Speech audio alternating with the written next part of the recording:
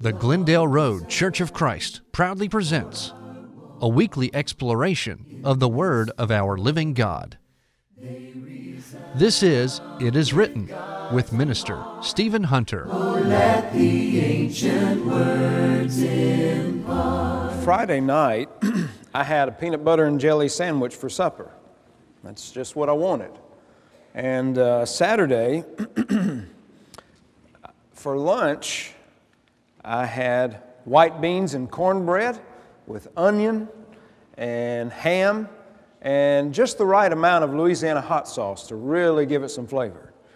Now, when I was a kid, these were meals that I despised because they were so frequently served at my mama's table. Uh, in addition to those, you had uh, my daddy always loved cabbage with uh, cooked cabbage with that, that uh, Polish sausage in it. And man, that would smell up the entire house in the most unpleasant way. But I had those meals yesterday and Friday night, and I was thinking how when I was a kid, and you know, if uh, mom and dad coming home from work, and they say, you know, first first question a kid always has is, "What's for supper?" And you know, you'd wait to hear, and and anytime it had macaroni and cheese in it, that was a good thing. You look forward to that as a kid. But if mama said, well, you can have uh, a peanut butter and jelly sandwich, or you can have leftover, right? Left, there's always something left over because you don't throw it out. Sometimes it tastes better the second day around when it's had time to kind of sit and marinate or, or fester, whichever word you prefer. And, and so you, you would have these meals and you just go, oh, I don't want that. Well, what do you want? I want McDonald's or I want a steak or I want a potato. She's, that sounds good, doesn't it? Yeah, can we have that? She said, you can have peanut butter jelly sandwich or something left over, you know. And, and so a lot of times the things that, what's funny is I said as a kid I hated this stuff, but now as an adult I'm like, oh man, that sounds pretty good. We used to go deer hunt, uh, excuse me, deer hunting, duck hunting all the time. And in the duck blind, my Uncle Bo always brought spam and he would fry spam and bologna, and we'd have fried spam and bologna sandwiches uh, because in the back of the duck blind you could, you know, you could do that, and it was a. We hunted as much as we ate, I, I promise you, but you'd have that. But something that always grossed me out. My uncle Bo would have this can of Vienna sausages. You know what I'm talking about, right? Now he would strip that lid, and I'd watch him do this. Some of you about to go, aha, uh, watch. I guarantee it he would get one of those little Vienna sausages out, had that nasty old jelly stuff, and he, and I'd go, uh-huh. you know, that was my, th- that was, now I could eat it, but that nasty jelly stuff that was on, I didn't want anything to do with that. That just looked like it was growing into some primordial creature. But what I want to try and do is, is not be such a complainer. I can always find something to complain about, can't you? There's always something displeasing. There's always something, and someone gives their best effort, and you look at, what do you think? As I was crooked, or this, that, and the other. And um, I, I want to be the kind of person who always has a grateful heart in all circumstances, even the most unfortunate circumstances. That, that's hard to do when it comes to that. There are times when it's easy to be grateful, uh, there are times when it's easy to give thanks to God. But what about in the hard situations where it's not so easy or where the outcome is not so hard or, or not so favorable? Well, last Sunday we had finished from Luke 17, not that we're going chapter by chapter in the Gospel of Luke, it just so happens as I read, I'm going, well, let's just go here next week. But last week, uh, we, we focused on the apostles requesting an increase in their faith. But this week, Jesus has left that scene, and in Luke 17, he's headed to Jerusalem, and he's passing through the midst of Samaria and Galilee. Now, these are two places, obviously, where you would have encountered not only Jews, but also uh, Samaritans. And because of this, he finds a mixed audience that normally wouldn't have been mixed. The Jews and the Samaritans typically had no dealings with one of the other because they, they had an animosity between those two races. But lepers were outcast. And so you had Samaritan lepers, you had Jewish lepers, and they were able to put aside their racial differences because they were united in their suffering. And so they came together on the basis of their leprosy. And so as he enters this certain village, 10 men who were lepers, they stood afar off. Now, why is this? Because what we see is the plight of the leper according to Scripture. All the way back in Leviticus, we see that the leper on whom the sore is, his clothes shall be torn, his head shall be bare, and he shall cover his mustache and cry, Unclean, unclean. He shall be unclean. All the days that he has the sore, he shall be unclean. He is unclean, he shall dwell alone, his dwelling shall be outside the camp. So, any person that had leprosy, as it was defined and acknowledged by the priests of the temple, they were to go outside of the, of the borders of whatever town that they found themselves in. This is why you have Jewish and Samaritan lepers with each other. They got over their racial differences because they were outcasts, and sometimes outcasts get together.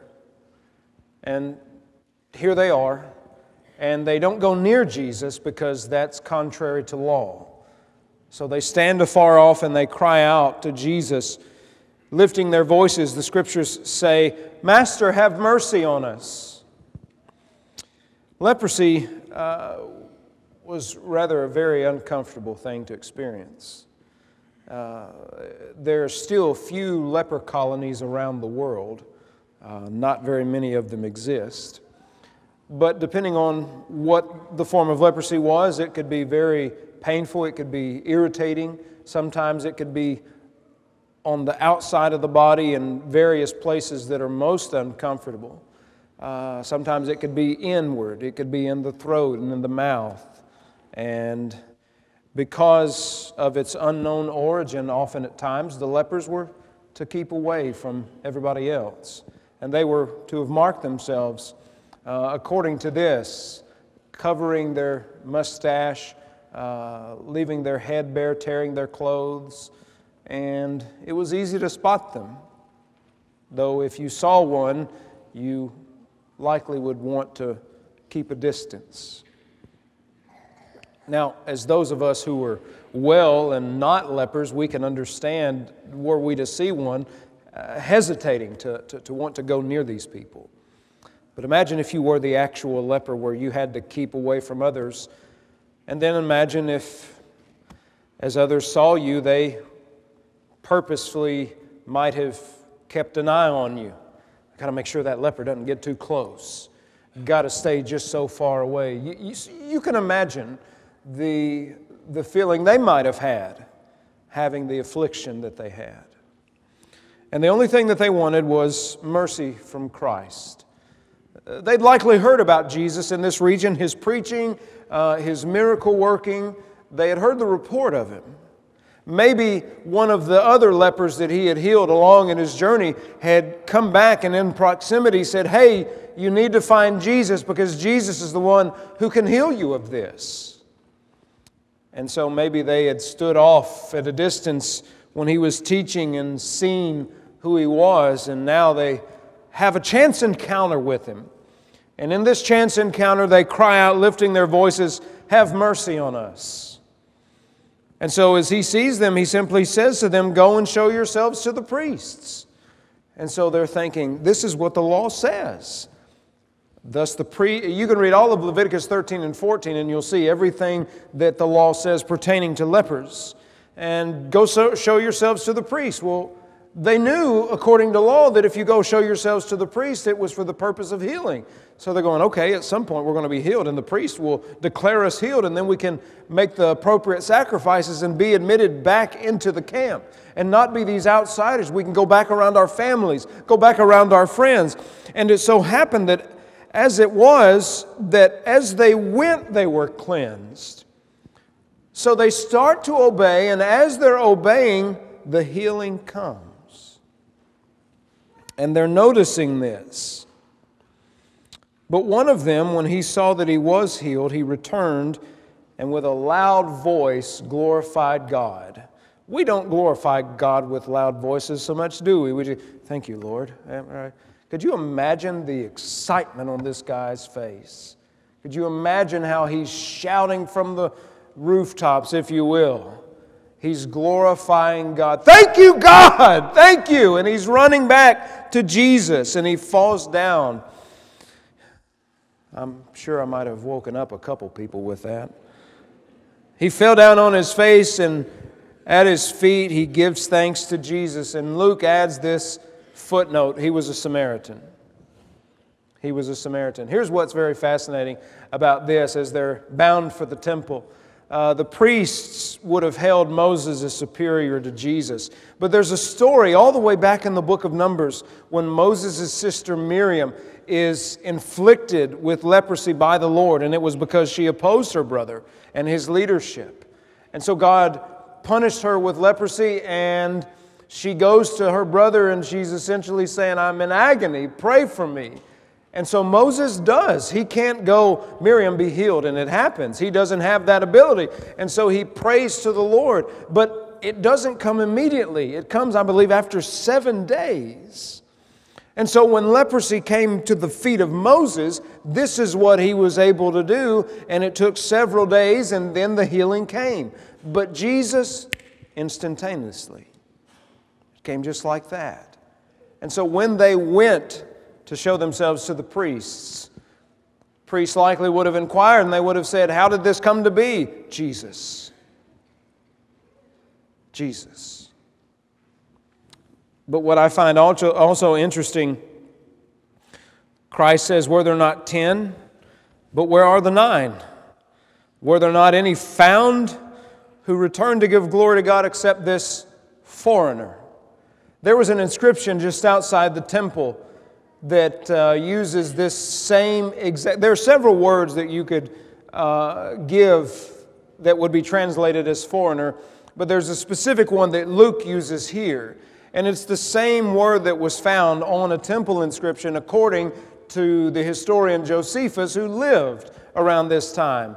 He said there was a stone wall for a partition with an inscription which forbade any foreigner to go in under pain of death. So the Jews had made this inscription and they posted it outside the temple compound. And they said, No foreigner shall come beyond this point lest they die. And so, this very one who returned to Jesus to give God glory, to fall at the feet of Jesus, was the very one who the religious elite said, You can't come in because God will strike you dead, or perhaps maybe even we will. So you can't go beyond this point to approach the God of Israel to, to give, off, uh, uh, to give uh, sacrifices and offerings and praise and thanksgiving, but you didn't need the temple. Why? Because you had God in the flesh right there. So it's a nice little play on things that happened here. Uh, this play on words that, that the Jews were familiar with and, and, and that the audience of Luke were familiar with. And so Jesus simply says, Arise and go your way. Your faith has made you well. I think it's easy for us to be thankful when good things happen, isn't it? To glorify God and to give thanks when something like this has been afflicting a person, and then we seek the Lord for His blessings of healing and, and restoration of health, and He gives it and it comes. That's easy to be thankful, but what about when the healing doesn't come?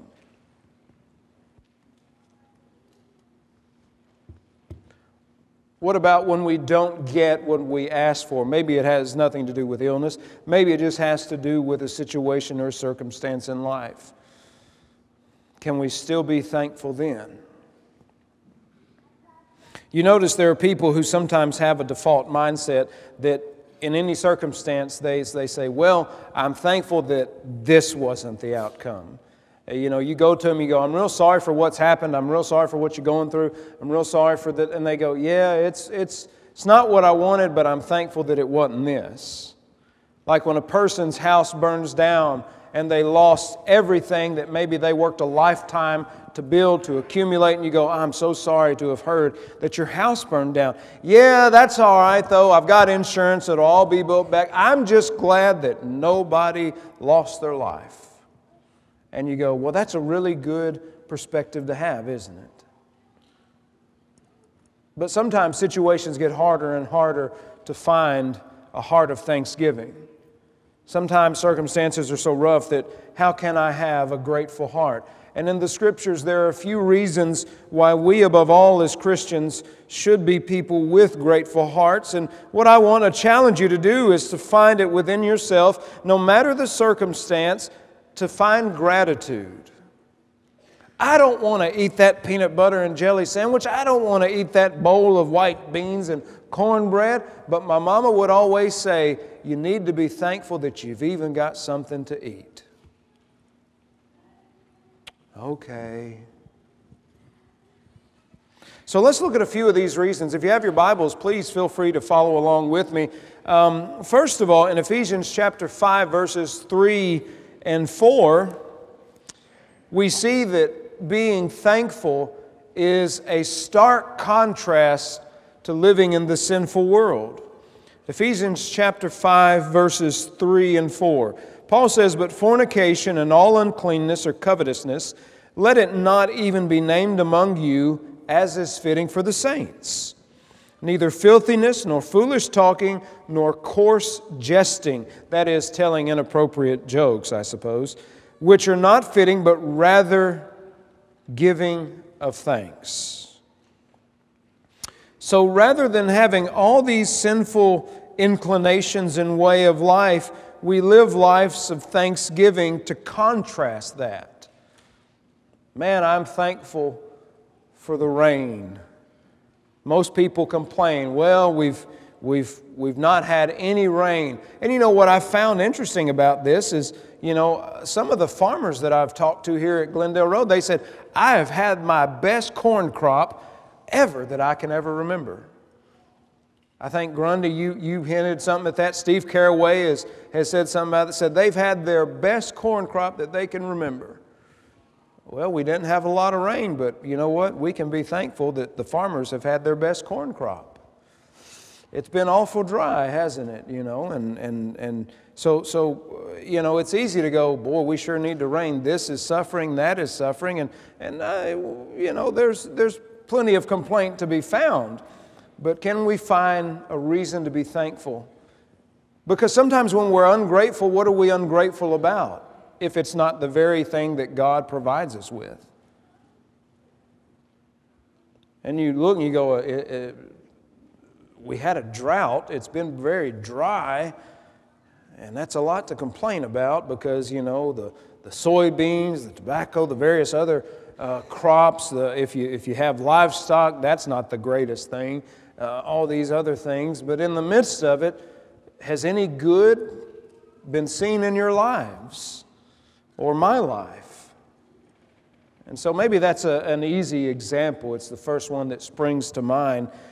But if I complain about it, well, God, you gave me a good corn crop. But what am I doing? I'm complaining about the drought.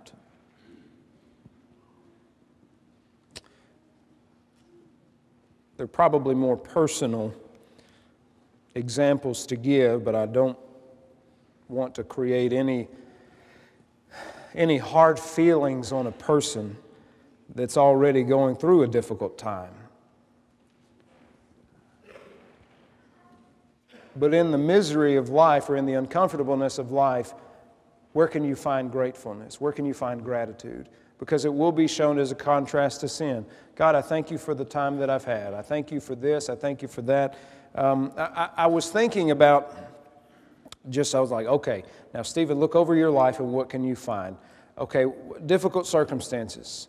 When I was an infant, I have no memory of this, I've only learned about it as an adult uh, by the recounting of the tales from my mother. But she was married to my father, obviously, my biological father, and he, he liked to, to sip from the bottle and he liked to smoke the peace pipe, as we say, on the reservation. He, he loved the marijuana, he loved the alcohol, and he also liked hitting my mother. But she took me and she got out. You know what? You may not realize this, but I think it takes a tremendous amount of courage for a woman in an abusive relationship to leave. Because many of them stay sometimes to their own peril. Well, he apologized. They want to believe the best. Some of them stay and they keep getting beaten, some of them even wind up dead. So I'm thankful that she left. I think that took a lot of courage. And then I'm thankful that as I was about eight or nine years old, she met my stepfather, the man who would become my stepfather, married him. And I'm grateful that he and his family raised me. They're the reasons I'm even a Christian today, I think. And so when you hear me talk about daddy and Uncle Bo and granddaddy and a lot of them, that's that family. But all that started out with substance abuse and domestic violence.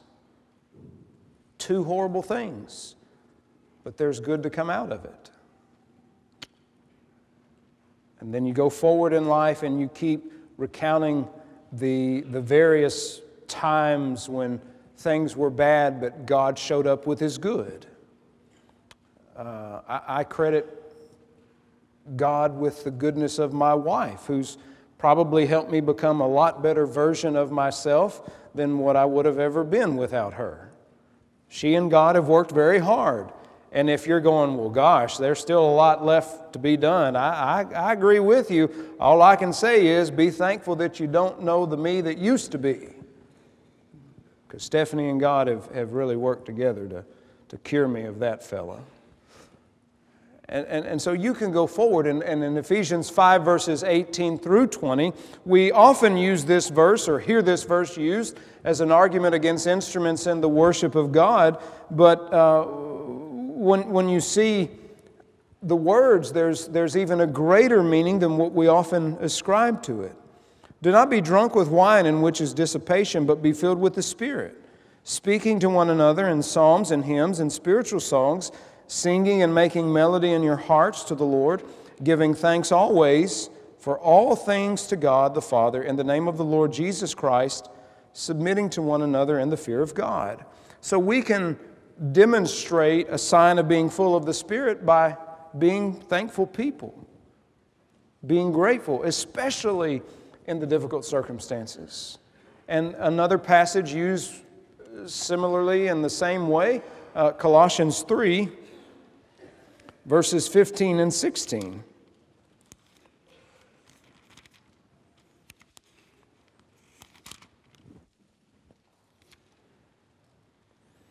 And let the peace of God rule in your hearts, to which also you were called in one body, and be thankful. Let the word of Christ dwell in you richly in all wisdom, teaching and admonishing one another in psalms and hymns and spiritual songs, singing with grace in your hearts to the Lord. So when we have attitudes of thankfulness, we contrast our lives as being opposite to that of sin. We also show that we are full of the Spirit. Uh, we show that the peace and the Word of God rule in our lives because we can find reasons to be thankful. Right? And some of the recent passings that we've had in our church family and those that we love, um, there have been a lot of suffering and un, un, unhappiness and mourning. But there are some that you go, uh, well, we know where they are. They, many of whom, Christians obviously, are in far greater, a far greater place than what we now occupy. A place full of thanksgiving where no complaints exist because everything is as it should be. Doesn't that make you want to go there? It, it does me.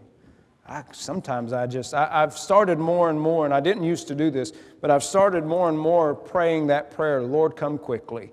For myself, I'm, I, I would be content to go. Uh, I would be happy. Uh, appreciate y'all, love you, but I, I, I, let's, I'm ready to go home. You know, you ever get to that party or that gathering and then um, you're ready to go and you just go, honey, let's go home. I, have had enough of this party, if you will. I'm ready to go. You know, too much nastiness in this world. I want to go be with my Father. I want to go be with my Savior. And maybe some of you aren't in as big a rush. That's okay. That's fine. But I would be content, and I hope that uh, if it were my time, that the Lord would welcome me into His presence, because this world is overrated. Philippians 4, verses 6 and 7. Paul begins this by saying, Be anxious for nothing. Now, I read this and I go, I'm one of those people that has anxiety diagnosed as such by a, a, a doctor, and I, I have this nice, I call it my happy pill. I take my happy pill every morning. That keeps me somewhat sane. But if anyone's ever had an anxiety attack, that is one of the most helpless and horrible experiences that you can have. Be anxious for nothing, but in everything by prayer and supplication with thanksgiving. Let your requests be made known to God, and the peace of God, which surpasses all understanding, will guard your hearts and minds through Christ Jesus. And so, with having this, this mindset of thanksgiving and with having uh, this focus in the midst of our anxiety, uh, one of the things we can do is obviously always offer up prayer to God and trust that His peace will guide us and guard us in those days. This is a demonstration of our trust in God. Now, it's not easy to not be anxious, especially when there are obvious, obviously things that, that are, exist in our lives to be anxious about. Um, I mentioned a little bit ago having an anxiety attack. I, I've had a few of those, and I'll tell you what, I cannot get out of here fast enough whenever they come on. Because you, you, you know, maybe that's, I, I think maybe that's what the old Southern women meant when they said, I'm about to have a come apart. that's kind of what, y'all heard that phrase before? Oh, I'm about to have a come apart. And I, I, was like, I never knew what that meant, but when I've had one of those anxiety attacks, I, something's about to come apart, that's all I know. I mean, it's, and I was talking to my doctor about it, I was like, what is that? She said, You know that fight or flight uh, response to, to, to, to stress? And I said, Yeah. She said, That's exactly what it is. It's the, the fight or flight mechanism just really kicking in. Uh, yeah, because what happens for me, I get this rush of adrenaline. I start breathing deeper, I get the shakes. Oh boy.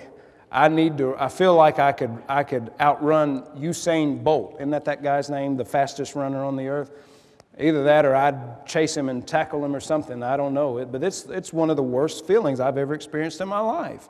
And so Paul says, be anxious for nothing. And so, well, how do I do this? Well, you, you pray with supplication, with thanksgiving. Let your request be made known to God. Let Him know what it is. And, and the peace of God, which surpasses all understanding, guards your hearts and minds through Christ Jesus. Now, have you ever seen some of these people going through some rough times and they seem to be doing a lot better than what is normal? You kind of wonder have they really grasped what is happening? Some people have a peace about them that others don't. Uh, Esther Cahoon, who has been in hospice, a while. We've, I've had a chance to visit her, and, and um, I was actually pulling out one morning, and Stephanie called me, and I was right about to pull it, and I just dropped her off. So I answered as any loving husband would What? Right? I just left you. And she said, I had my dog, I had our dog Winston with us. She said, Hey, will you come back and bring Winston in? Miss Esther wants to see Winston. And so I turned back around, and I, he's a little miniature schnauzer, ankle biter, we call them, a yip yapper. And so I got Winston on his leash, and, and I took him back in, and we, she was in a seat, and, and you know, he was, he was very excitable. And so we put Winston in her lap, and she just rubbed on him. And, and he was, of course, me and mom were there, so he wanted us more than her. And Miss Esther said, Oh, he don't want me. so, but that wasn't it. We were just there. But she is quite ready to go be with the Lord. Uh, some of the stories that, that, I, that I have heard from her relatives and from the nurses, they're quite humorous. And if you know Miss Esther, they are. Uh, she was trying to talk one of the nurses into just ending it for her. and she said, Now, Miss Esther, aren't you a Christian? And Esther said, Well, John Dell says I am. and so she said, Now, what's that commandment that the Lord wrote? And she said, You mean that one about not killing? She said, Yes. She said, Okay. And so she got mad because she was trying to talk her into ending it for her. And, and then on this one occasion, I guess it was one of her grandsons or a nephew was was holding her hand, and, and he sat long enough and he got a bit stiff, so he let go of her hand to, to kind of twist and stretch out a bit. And, and, and she went, Quit all that moving. I can't go be with the Lord if you're moving. He won't come and get me. And so apparently he was making way too much noise for the Lord to come. And then on another occasion, the one nurse who told me the story about, you know, Miss Esther trying to talk her into to ending it all, she said that uh, she was trying to kick her out. She said, Get her out of here. The Lord's not going to come get me as long as she's right here. And she, it, there's just so much. She's ready to go. And, you know, you think, well, she's, she's in her 90s. She's lived a, a good, long life. Nobody can blame her. But why can't be, we be ready right now? This has been It Is Written, presented by the Glendale Road Church of Christ. We welcome your visits and communications at any time with God's own heart. Oh, let the ancient words impart.